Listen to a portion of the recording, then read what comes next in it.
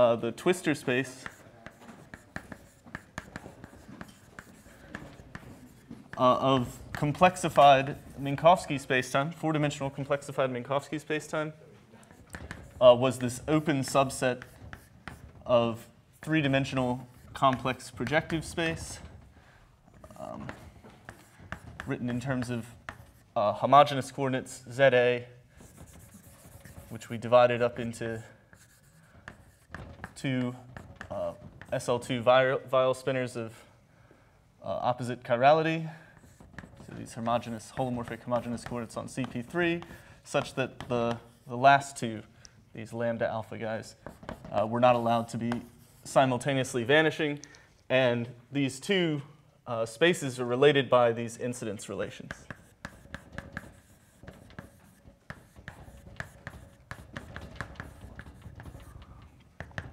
Which tell us that a point uh, in complexified Minkowski space is uh, equal to a linearly embedded holomorphic Riemann sphere in the twistor space.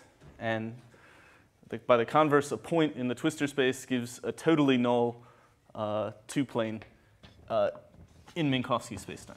So okay, so today we're going to hopefully start trying to learn a bit of the, the magic of this somewhat simple correspondence.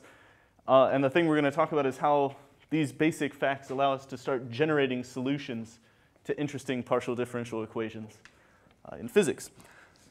So what are these partial differential equations? So we're going to be talking about uh, certain massless free fields in complexified Minkowski spacetime, which are often called zero rest mass fields, or ZRM fields. So uh, what are these things? These are, uh, well, let's start with uh, by considering uh, totally symmetric uh, SL2 spinor fields.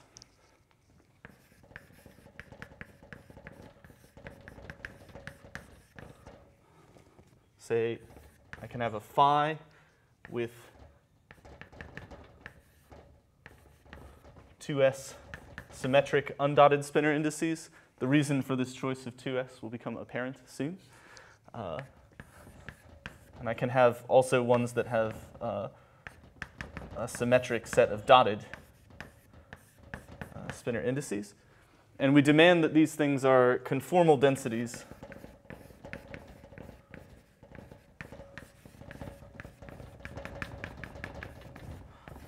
of weight minus 1. So what does that mean in real money?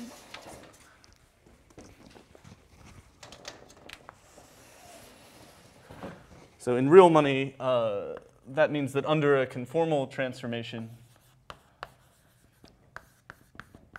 which we've been hearing lots about,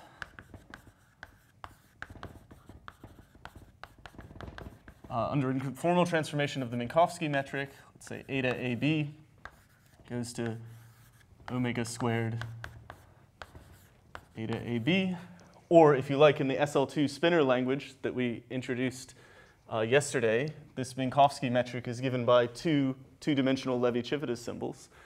So that conformal transformation is the same as saying epsilon alpha beta goes to omega epsilon alpha beta and epsilon alpha dot beta dot goes to omega epsilon alpha dot beta dot. So we want these symmetric spinor fields to transform as phi alpha 1 alpha 2s goes to omega minus 1 phi alpha 1 alpha 2s phi twiddle alpha dot 1 alpha dot 2s is to omega minus 1 phi twiddle alpha dot 1 alpha dot 2s. So we now say that these totally symmetric spinor fields are what we call zero rest mass fields if they obey the following uh, partial differential equations. Say that these guys are zero rest mass fields if, so first let's state the equation for the undotted uh, symmetric spinor ones. d alpha 1 alpha dot phi alpha 1 to phi alpha 2s is equal to 0, where d alpha alpha dot, this is just shorthand for d by dx alpha alpha dot. So I take a space-time derivative of the spinor field, and then I contract on one of the undotted spinor indices. Doesn't matter which one, because it's totally symmetric. And for the dotted uh, guys, we just do the opposite thing. We contract on one of the dotted indices. So let's say alpha, alpha dot 1, phi twiddle, alpha dot 1. And in the case where s is equal to 0, we just ask that the field satisfies the massless scalar wave equation. Okay? So these things are what are called the zero rest mass equations uh, and fields, totally symmetric spinor fields that are conformal de densities of weight minus one, which satisfy these equations, are zero rest mass fields. Now, uh, why should you care about such fields? Well, it's clear when s is equal to zero that these are just massless free scalars. So those are things that uh, we like to study. And when s is equal to one, and there's just one uh, spinor index on the dotted or undotted field, then these are just the massless Weyl neutrino equations. But more generally, for any s, these are the massless free field equations that you would know and love for any massless free field. So it's perhaps not immediately obvious why that's the case. Um, so let's see why explicitly for s equal 1. But uh, actually, before, before we do that, I should explain one other thing, which is why uh, we demand these things to be conformal densities of weight minus 1. It has a nice, um, nice consequence that uh, the ZRM equations are in fact conformally invariant. Do you mean conformally covariant or conformally invariant? I mean, uh, in the sense that if you solve the equation in one conformal frame, the conformally transformed solution solves the zero rest mass equations in the other Okay, conformal they're frame. covariant, right? So it's It's conformally covariant, but there's a zero on one side of the equation. Okay, So, uh, co in. So why is this the case? So uh, by, by definition, these things are supposed to transform as uh, conformal densities of weight minus one. Let's just show it for the undotted zero rest mass field. So under a conformal transformation, let's say we have the conformally transformed field. I'll put a hat on top of it. And by definition, this is just omega minus one uh, of the unconformally transformed uh, field. And let nabla hat alpha alpha dot be the Levi Civita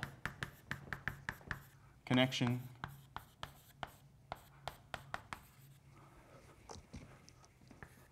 of uh, the conformally transformed metric g hat omega squared eta.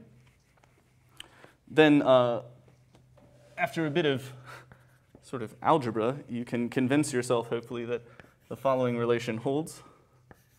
I'll leave this as an, as an exercise.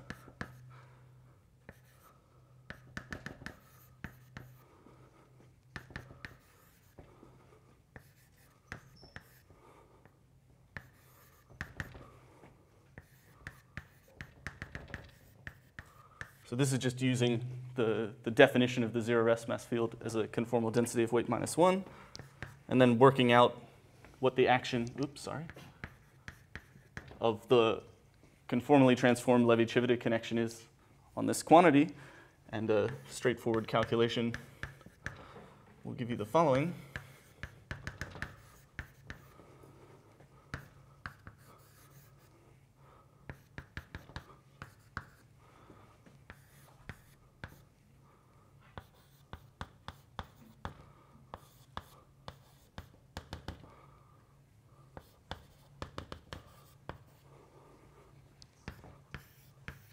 I'll explain my notation here in a moment.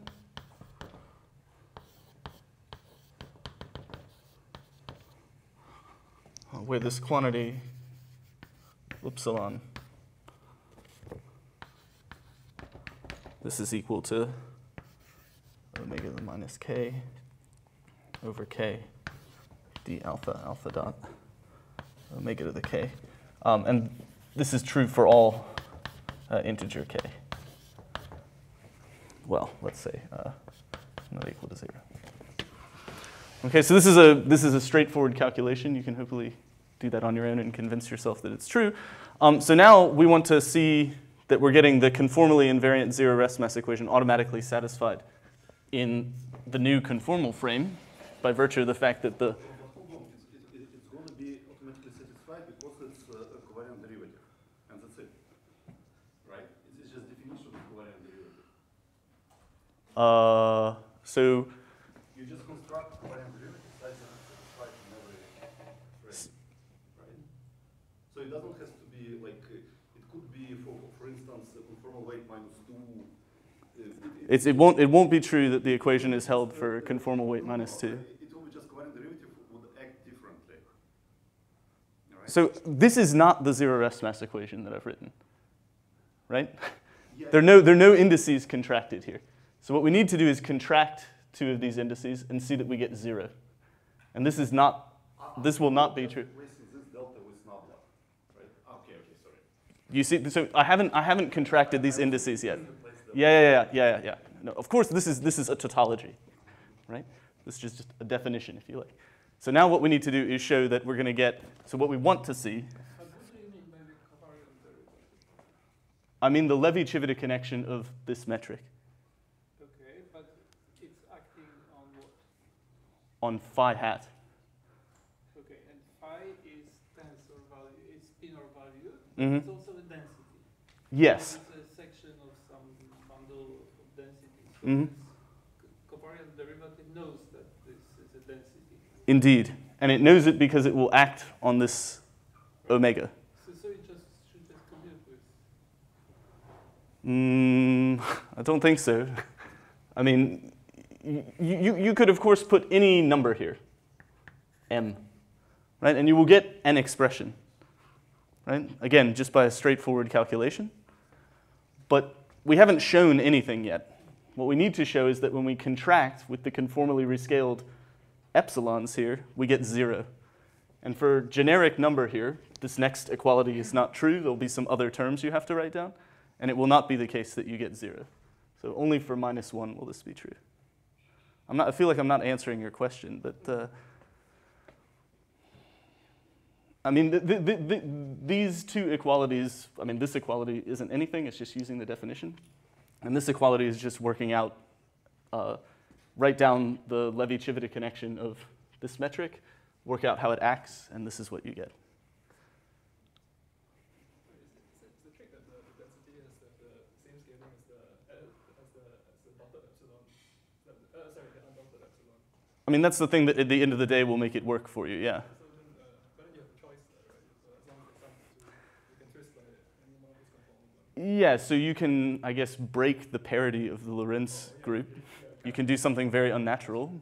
Uh, yeah, but as long as I make an egalitarian uh, distribution of the conformal weights on each of the SL2 bundles, then um, this, is, this is the only thing I'm allowed to do. So in particular, if I contract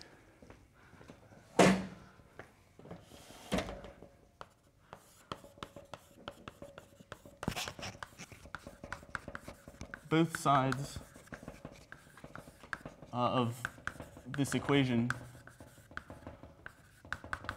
with uh, omega minus 2 epsilon beta alpha 1 epsilon beta dot alpha dot, then what you'll get is the following. You'll get omega 1 nabla hat alpha 1 alpha dot phi alpha 1 up to alpha 2s hat is equal to omega minus 2 d alpha 1 alpha dot phi alpha 1 up to alpha 2s minus upsilon alpha 1 alpha dot phi alpha 1 alpha 2 up to alpha 2s minus epsilon alpha 1 alpha dot phi alpha 1 alpha 2s. So you might wonder what happened to all the other terms here. So here we have a sum over all the different ways of taking one of the undotted indices on this guy and putting it on this quantity epsilon. But for all the other terms in this expression where alpha 1 uh, isn't appearing here, I end up contracting between spinors down here. This is totally symmetric. The contraction always happens via the Levi-Civita symbol, so that's zero. So in the end, we only pick up the contraction where alpha 1 is here, and it contracts onto here, and then the contraction, um, sorry, so those, those, are the, those are the only contractions that can appear. So here we have uh, one contraction between an upstairs alpha 1 on this upsilon kind of conformal factory thing, and a downstairs alpha 1 on the, the zero rest mass field. And here it's the same contraction the other way around. So I can put this index upstairs and this index downstairs at the expense of a sign. Right? This is one of these important things to always keep in the back of your mind when you're doing this SL2 spinor yoga. The contractions are anti-symmetric because they happen via the Levi-Civitas symbol. So now these two terms cancel with each other. And we're just left with this. So what you get is alpha 1, alpha dot. The conformally transformed uh, zero rest mass equation is just proportional to the zero rest mass equation back in Minkowski space, which is zero. So this is the sense in which it's a conformal, uh, conformally covariant. I guess you were asking about this before. There's a minus 3 here, but it's 0. So in some sense, the, the point is you solve the equation in one conformal frame. You solved it in all of them. Um, and just to get back to some of the earlier questions, if I picked a different conformal weight for the zero rest mass field, like I said, I would generate many other terms here, which would give non-vanishing, other non-vanishing contributions when I came through and contracted with epsilons here, and they wouldn't all cancel. So you can, you can work that out for yourself as an exercise if you like. Yes? Yeah, I have a confusion with the notation. So Yeah, please.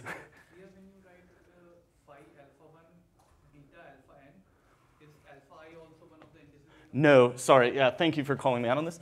So here, what this notation means is I take the ith alpha index and I replace it with a beta. And then that ith alpha index is appearing on the epsilon. Sorry, that's, that's what it means. Other questions at this point? Okay.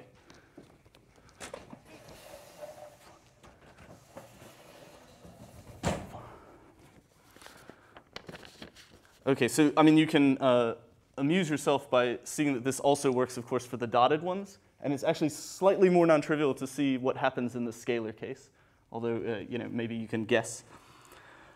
So, uh, so let's see. Uh, how do we see that the zero rest mass equations are sort of the same as the the massless free field equations. So just a bit of a, um, a teaser for why you should be caring about this. If you want to consider calculating massless scattering amplitudes, which is something that Tom's been telling us about, remember you, you have some n-point process, and the external legs in this process are defined by LSZ truncation. And that just means putting these external legs on shell, which means they have to solve the massless free field equations. So generating solutions to these equations, you can think of it as generating external wave functions for some massless scattering process. So it's something uh, you want to care about if you're, um, if you're in the business of computing scattering amplitudes, particularly massless scattering amplitudes. So, um, so let's, let's see this explicitly uh, for spin one uh, which is the, the case that Tom's been, been, been telling us about in the mornings in any case. So, um, So here, let's uh, let uh, A or A alpha alpha dot be uh, a Maxwell field.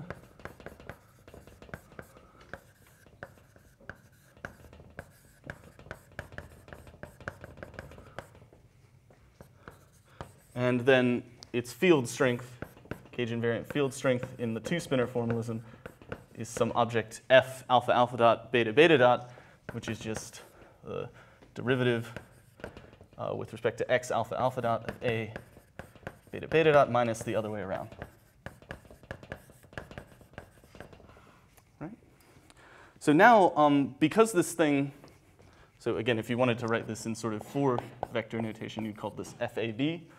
And by the usual yoga of replacing every four index with a pair of SL2 spinor indices, this is how you, you would write it. Now, uh, as by construction this thing is anti-symmetric,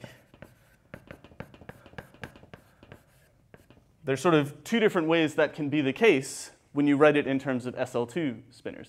Either it's anti-symmetric under interchange of the undotted spinors, or it's anti-symmetric under interchange of the dotted spinors. It can't be both, or else it would be symmetric, and it, uh, in, in, in kind of tensorial language. Right, so this means that either f alpha alpha dot beta beta dot is skew under uh, interchange of the undotted spinor indices, uh, or uh, it's skew under interchange of the dotted spinor indices. And I mean, this is exclusively, or it can't be both. So, keeping in mind, uh, one of the lessons, hopefully, from yesterday was that anytime you have a skew symmetric object in two dimensions, it has to be proportional to the Levi-Civita symbol. Um, we can do this decomposition into these two, uh, if you like, irreducibles quite straightforwardly. Um, define f alpha beta to be 1 half f alpha gamma dot beta gamma dot and f twiddle alpha dot beta dot to be equal to 1 half f gamma alpha dot gamma beta dot. So uh, here I raise and contract spinor indices using the conventions that we wrote down uh, yesterday. And then it's uh, straightforward to show that you can decompose f alpha alpha dot oops, beta beta dot as epsilon alpha dot beta dot f alpha beta plus epsilon alpha beta f twiddle alpha dot beta dot. And you can check, if you like, as an exercise that this is consistent by plugging in these definitions and playing with uh, contracting things with epsilons and using the conventions that we, we wrote down uh, yesterday. Now, you might say, okay, what have you uh, gained by all of this? Well, one thing to observe is that uh, under Hodge duality, so that's um, just fancy words for taking the dual of the electromagnetic field strength. So we just contract with the Levi-Civita, uh, four-dimensional Levi-Civita symbol. You can show that what you get here is actually I times epsilon gamma delta f twiddle gamma dot delta dot minus uh, epsilon gamma dot delta dot f gamma delta, where gamma, gamma dot are the two spinor indices I associate with the four vector index C, delta, delta dot are the two spinor indices that I uh, associate with D. So sometimes I will write equations like this which seem uh, like they don't make any sense, but I trust you to be able to translate from four vector to two spinor stuff uh, from one side to the other. So what this means is that this quantity uh, f twiddle is self-dual uh, under electromagnetic duality. and the quantity f uh, alpha beta is anti-self-dual. So that's why there's this relative minus sign here. So one of the advantages of working in this two-spinor formalism is it gives you an explicit decomposition into self-dual and anti-self-dual parts Uh, of, of, of, of, a, of a field strength. So we say f alpha beta is the anti-self dual or ASD field strength. And F twiddle alpha dot beta dot is the self dual. Yes?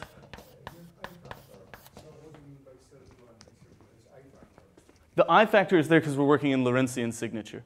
So the notion of Hodge duality comes with a factor of I in Lorentzian signature. If I was in Euclidean signature, that factor of I wouldn't be there, and it would literally be plus and minus. But yeah, because uh, we've set everything up in complexified, I mean, because everything's complexified, it's sort of all up for grabs anyway. Um, we could we could instead work with a Euclidean metric and say that the Lorentzian real slice involves some different reality conditions, and then this I wouldn't be there. But because we want to have kind of Lorentzian reality conditions in the back of our minds, that's, that's why the I is there. Uh, yeah, so then we call uh, the undotted bit, or sorry, the dotted bit the self-dual field strength, and that's just because of these, uh, these relative signs. So one thing that um, follows, oh, that's useless, isn't it?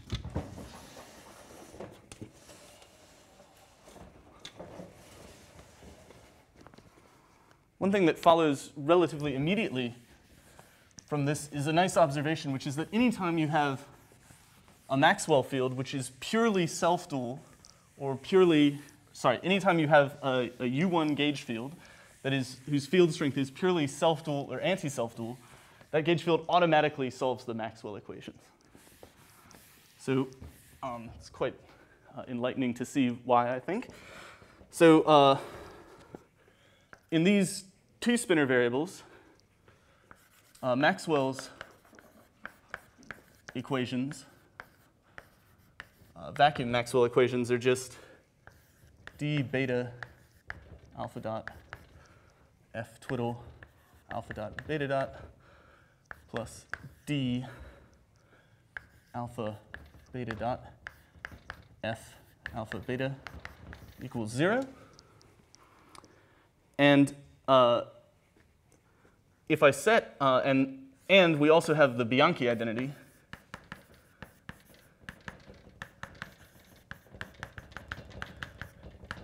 which is d beta alpha dot f twiddle alpha dot beta dot minus d alpha beta dot f alpha beta dot whoop, beta is equal to zero. So if you set, say, f alpha beta equals to zero, then you cover up this term in the Maxwell equation, and then the Maxwell equation is just the same as the Bianchi identity, and the Bianchi identity is non-dynamical. You get that for free uh, by knowing that this f came as the field strength of a gauge potential. So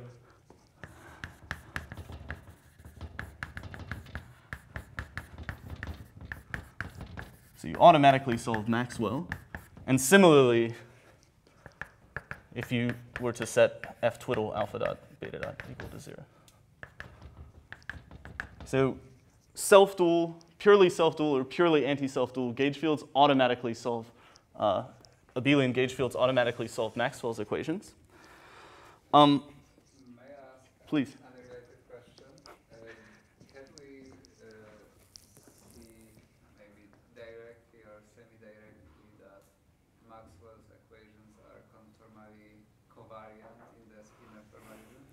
Yes, I mean, so you're, you're, yeah, you're, you're, you're one step ahead of us. So what you can show is that this object and this object are both conformal densities of weight minus one, right?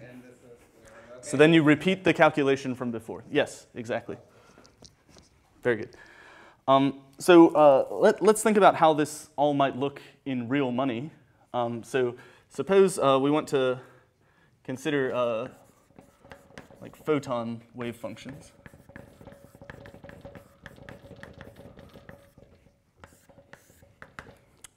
So for just for concreteness, let's consider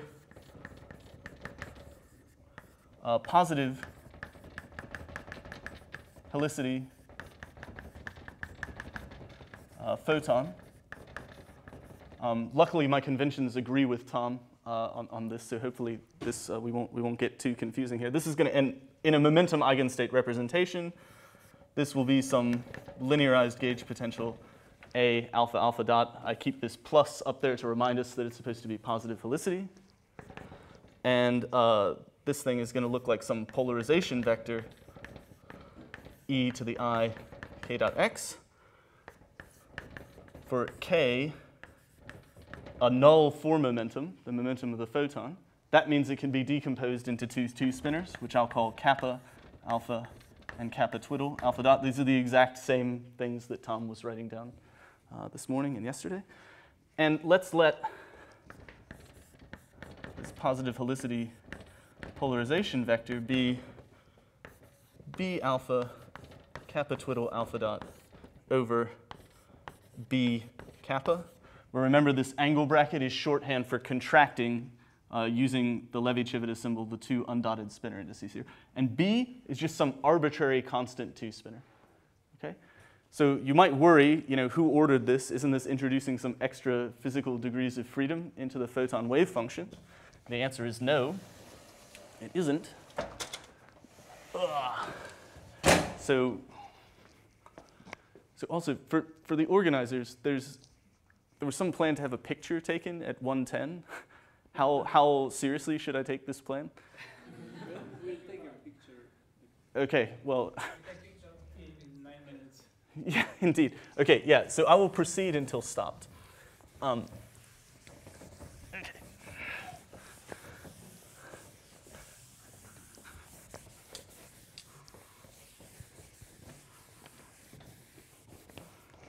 Okay, so, uh, so observe,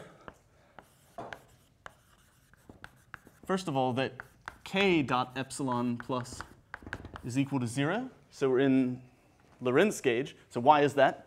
If I come along and I contract this thing with k, that's contracting with kappa alpha, kappa twiddle alpha dot. But it means I'm going to contract kappa twiddle with itself via a skew symmetric inner product, so that's zero. So we're in Lorentz gauge. And changing the choice of this constant spinor b alpha, dot, uh, b alpha gives so let's take B alpha kappa twiddle alpha dot over B kappa. And let's take the difference with some other B, say B prime alpha kappa twiddle alpha dot. B prime kappa. So let's put everything over a common denominator. What do you get?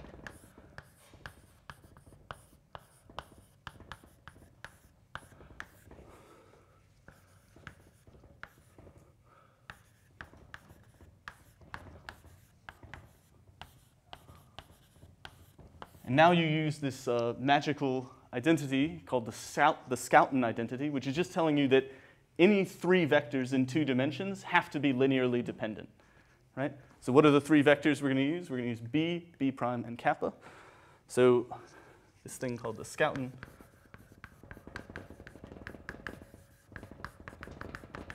identity. In this case, it's telling you that b alpha, b prime, kappa is equal to b prime alpha, b kappa plus kappa alpha b prime b.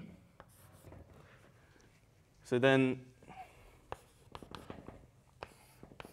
that tells us that this difference of the polarization vectors is actually equal to kappa alpha, kappa twiddle alpha dot over b kappa, b prime kappa, b prime b. Right, so in particular, it's proportional to the momentum. And we're in Lorentz gauge, so that means it has to be a gauge transformation.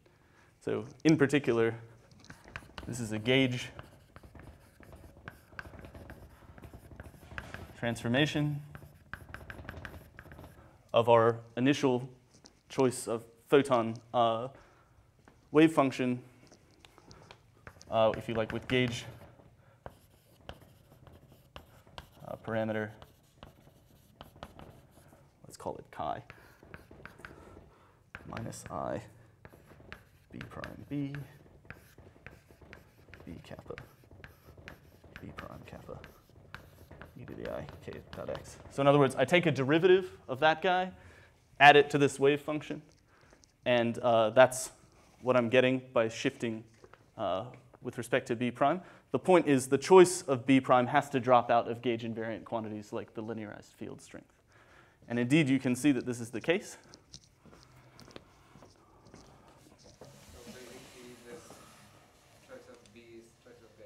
It's, a, it's, it's, it's residual gauge transformation. So we've fixed Lorentz gauge, but of course Lorentz gauge is not a complete gauge fixing. There has to be some stuff left over, and that stuff left over is precisely parameterized by the choice of this two-spinor B. The only rule about B is that it's not allowed to be proportional to the momentum uh, kappa, because otherwise that's bad news. But other than that, it can be whatever you like.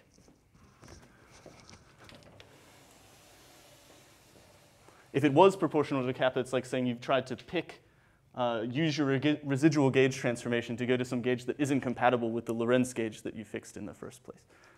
So, uh,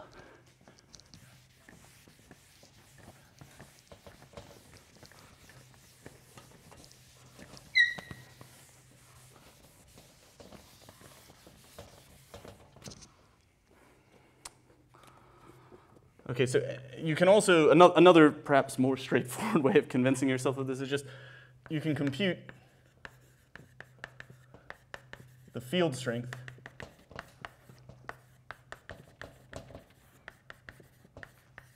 of this uh, uh, photon wave function, and that's just uh, a, a straightforward calculation. You get I e to the i k dot x, kappa twiddle alpha dot, kappa twiddle beta dot, over b kappa. And you have kappa alpha b beta minus kappa beta b alpha. So it looks like it still depends on b, right? But here we have an object a two-spinor object that's skew on alpha and beta. And remember this rule that we wrote down yesterday. Anytime you have a two-spinor quantity that's skew, it means you can write it as something proportional to epsilon. So this is in fact equal to i e to the i k dot x epsilon alpha beta kappa twiddle alpha dot kappa twiddle beta dot b kappa over b kappa. So of course these cancel. e to the i dot x epsilon alpha beta kappa twiddle alpha dot kappa twiddle beta dot. So crucially, this thing is purely self-dual, right? So f twiddle alpha dot beta dot. Remember, our, in our duality decomposition of the field strength, there was a self-dual part and an anti-self-dual part. The self-dual part had to be proportional to the undotted Levi-Civitas symbol. That's the only thing we get here. So this is just i e to the i k dot x kappa twiddle alpha dot kappa twiddle beta dot. And the anti-self-dual part is zero. So that checks out with what we were hoping to accomplish because if this was really a positive helicity photon, it shouldn't have picked up some negative helicity or anti-self-dual part um, in its field strength. So, uh, what board am I on? Back over here.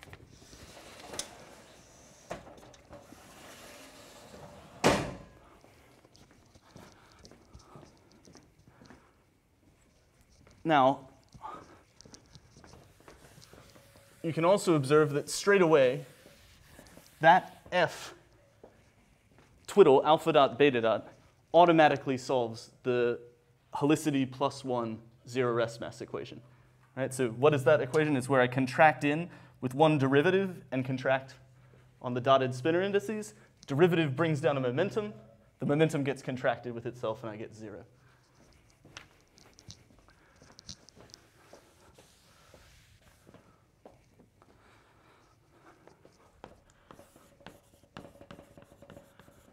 Observe that d alpha dot, uh, let's say,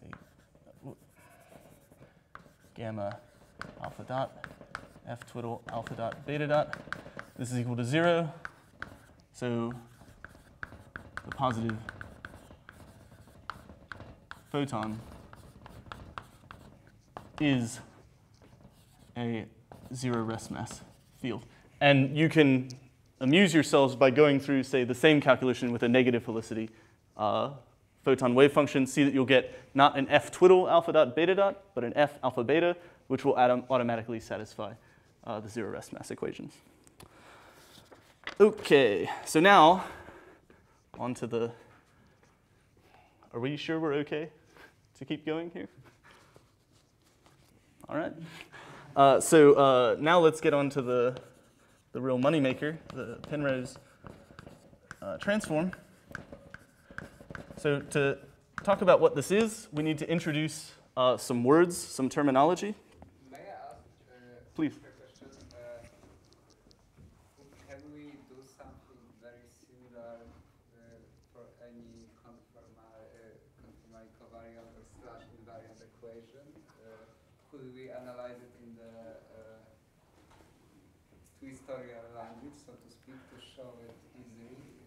Like, for- for the maximum- Yeah, I mean, I- so I've, I've gone through this for Maxwell fields, but it's true for any helicity. Yeah, like for example, we would have massless Dirac equation that is also uh, conformal covariant. Could we decompose it somehow? Yeah, so then you get the two massless Weyl neutrino Yeah. equations. Yeah, yeah, ex- exactly, exactly. So as you ramp up in S, the gauge invariant field strength has more and more irreducibles, but only one of these is like the kind of pure free field part, and that has a positive and negative helicity bit, which is precisely the positive and negative helicity zero rest mass field. So, sorry, one second, Sean. So the, for like, for instance, for a graviton, or a, a linearized gravitational field, you'd have Weyl tensor, Ricci tensor, and Ricci, say, trace-free Ricci tensor and Ricci scalar. But the free field equation is just the Weyl bit, and that has a positive and negative helicity part, which would correspond to the positive and negative helicity spin to zero rest mass fields by precisely the same yoga. Vial, vial.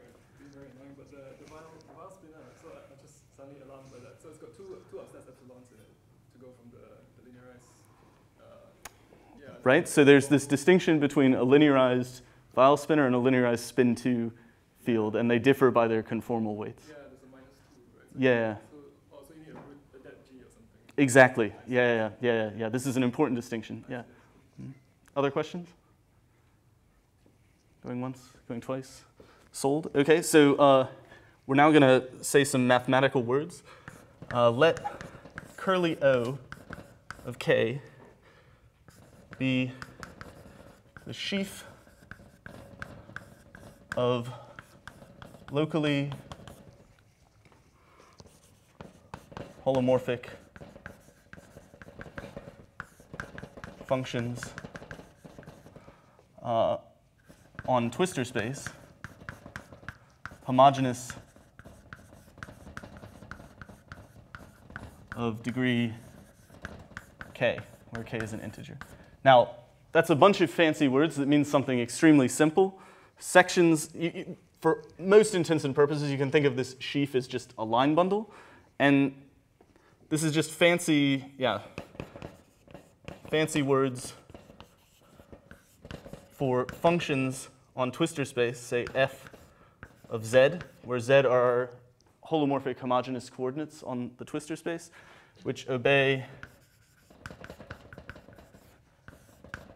if you rescale their argument by any non-vanishing complex number, the function scales like that number to the k times the unscaled argument.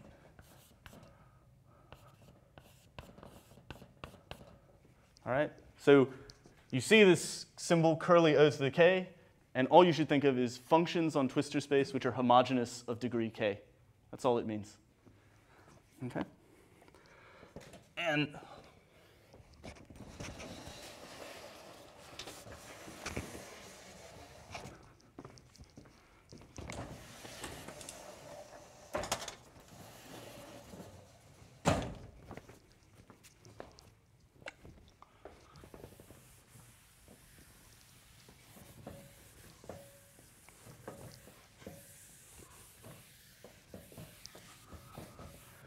also going to denote, uh, need some notation for spaces of one forms on twistor space. So let uh, omega 0, 1 of pt be smooth one forms on twistor space, which point in the anti-holomorphic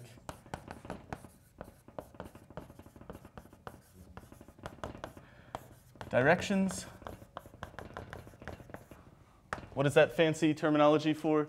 It means you have some f of z, which lives in here. It just means that it can be written as some f of a bar, some functions times an anti-holomorphic one form on twistor space. So you see this symbol, all you should think of is one forms on twistor space that point, their form direction points in the barred, the anti-holomorphic uh, directions. Here, this notation does not mean that they only uh, depend on the z, can- they can also. No, indeed, I'm, uh, yeah, so, so Z you should think of as shorthand for Z and Z bar. However, that scaling is only R and not R bar, right? So that's the sense in which they're locally holomorphic. Okay.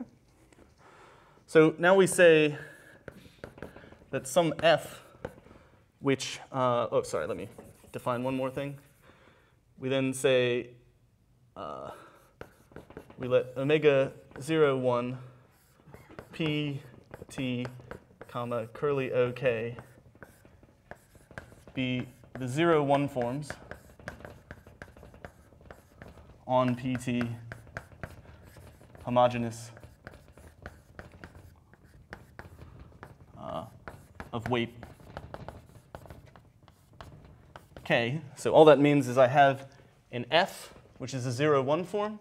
I rescale the arguments of that 0, 1 form by some non-vanishing complex number, and I get that non-vanishing complex number to the power k. Okay? So this is, this is all we mean with these symbols. 0, 1 forms, 1 forms that point in the anti-holomorphic direction, which have some scaling property. They're homogeneous of degree k. Okay? So a mathematician will tell you that this is some kind of sheaf-valued differential forms, but for our intents and purposes, that's uh, good enough to think of it in this way. Now we say that uh, one of these homogeneous 0, 1 forms on twistor space is holomorphic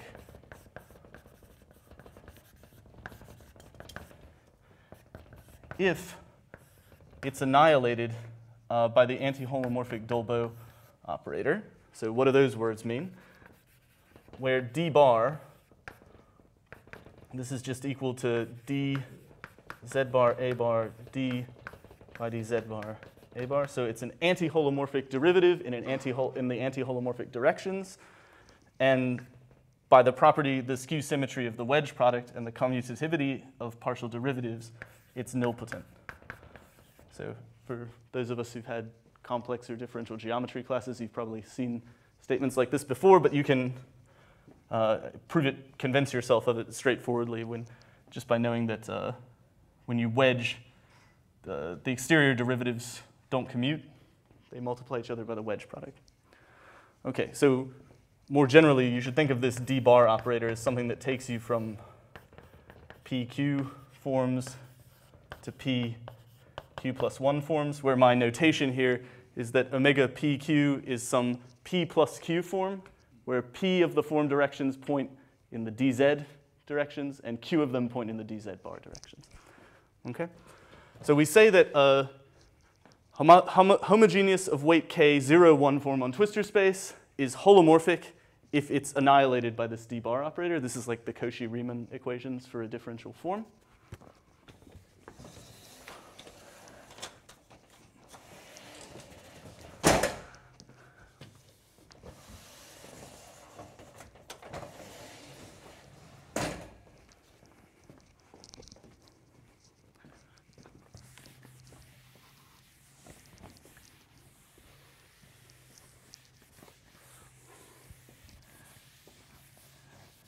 Now, because this d bar operator squares to zero, it's clear that if you have some f, which is a 0, 1 form uh, of weight k, and you can write it as d bar of some g, where g is a smooth function that's homogeneous of degree k, then d bar of f is holomorphic automatically. Right? That just follows by the nilpotency of this d bar operator. So then this motivates us to define uh, the cohomology group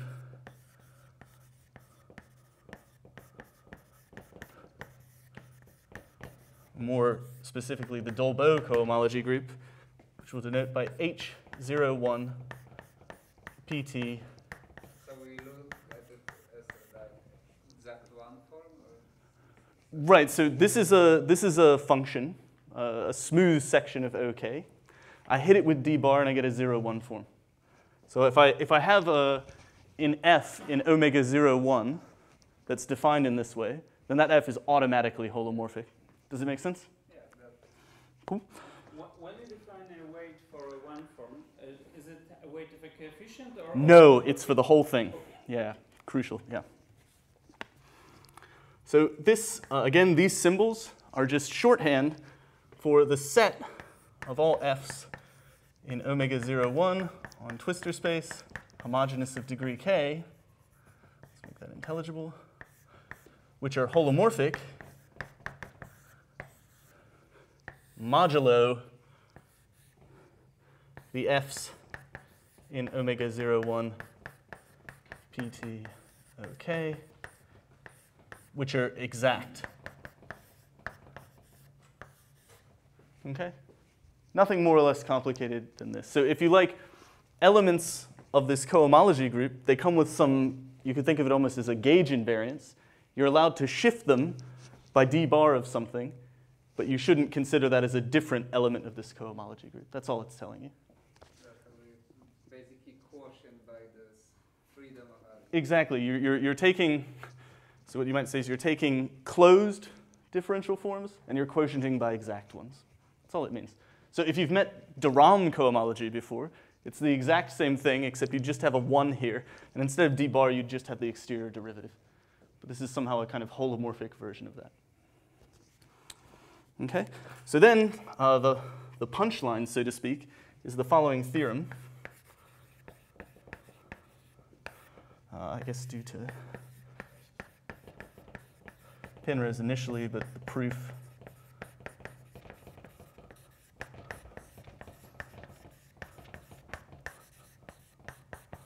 is due to Eastwood, Penrose, and Wells. And this is that the set of zero rest mass fields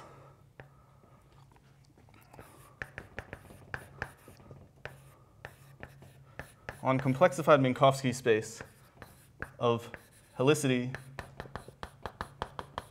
H is isomorphic to the cohomology group H01 PT curly O 2H minus 2. Okay? Now, there's a couple of details I've brushed under the rug here. There's some assumption of regularity that's implicit here in the definition of what you mean by zero rest mass field. So maybe you could write down something that is in the kernel of a zero rest mass field operator, but has some really wild, gnarly singularities that might not be covered by this.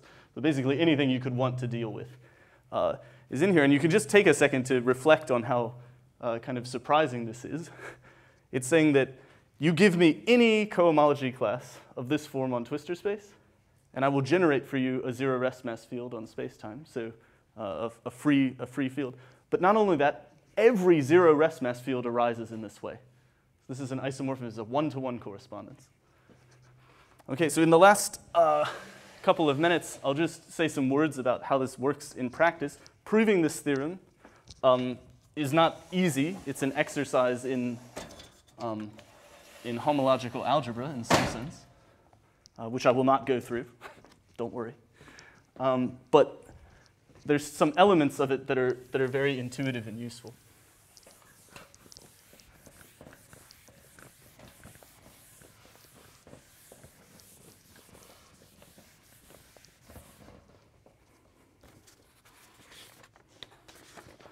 So it's sort of easy uh, to show one direction.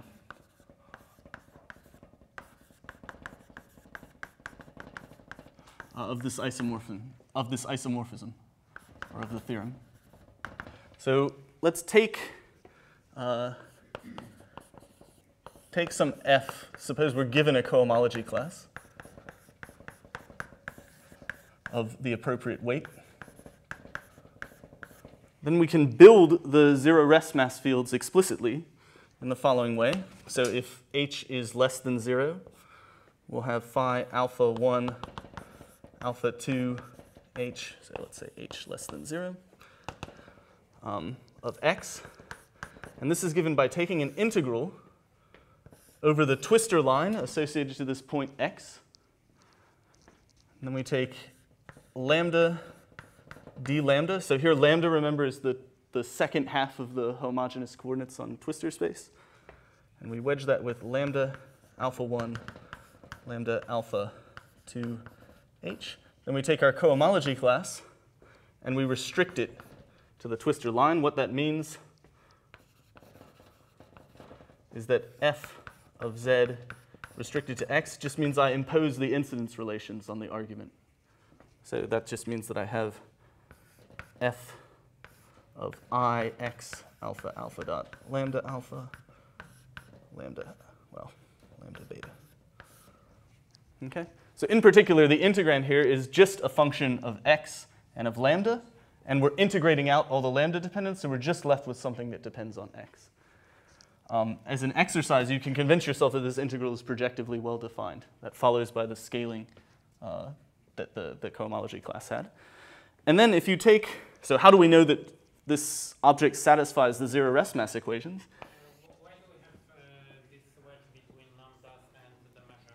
So it's not, the wedge is not between the lambdas, it's between the f, which is a zero one form.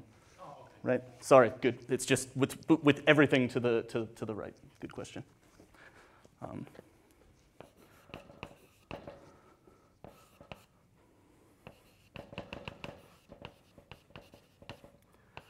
so we can bring this derivative inside of the integral using the incidence relations.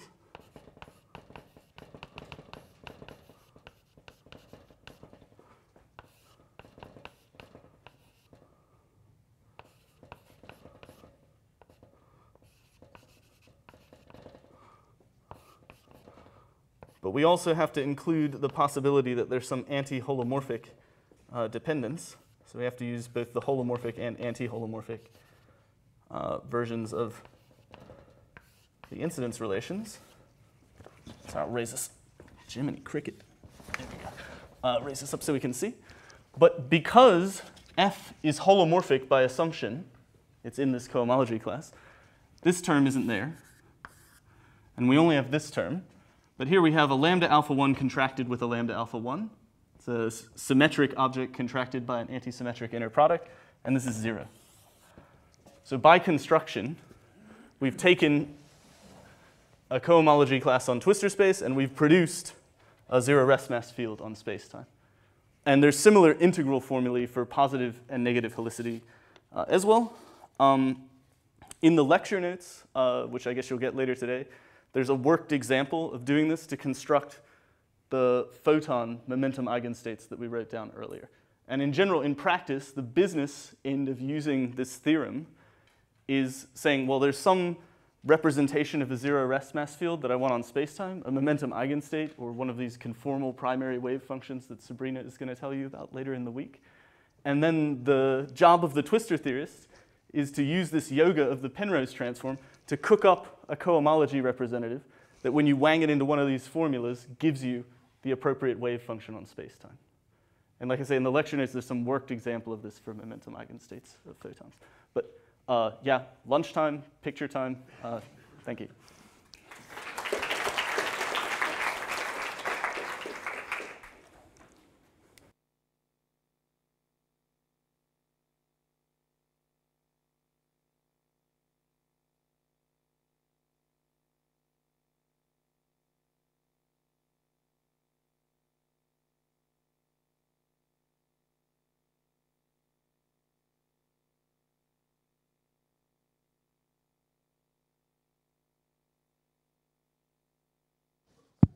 Okay, so please come down here to the blackboard. So we take, we will stand here, and the picture will be taken from above. We have a nice background then.